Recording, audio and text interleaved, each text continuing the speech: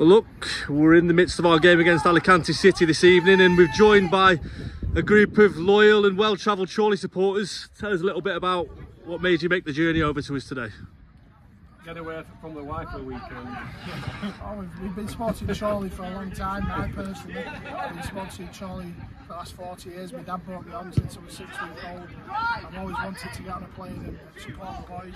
And today we've done it. It's been. Yeah, obviously last last season we we came out here, but it wasn't as I suppose as publicised. This time around, the opportunities come up, and it looks like you're having a great time. Fair to say. Yeah, brilliant, brilliant. It's just something something different, and I tell you what, the lads look sharp. It looks good.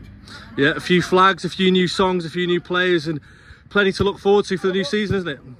Yeah, looking forward to this season. Looking very promising. I think he's going to play a different style of football this season with the players he's brought in.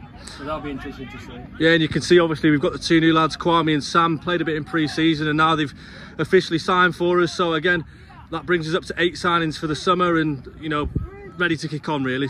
Looking very good. Looking very good. Yeah. Yeah, well, listen, on behalf of the club and everyone involved, we'd just like to say thank you to yourselves and everyone else. There's, you know, a few more of you here. So, on behalf of the club, thanks for coming and let's have a good time out here, shall we? Come on, you Magpies!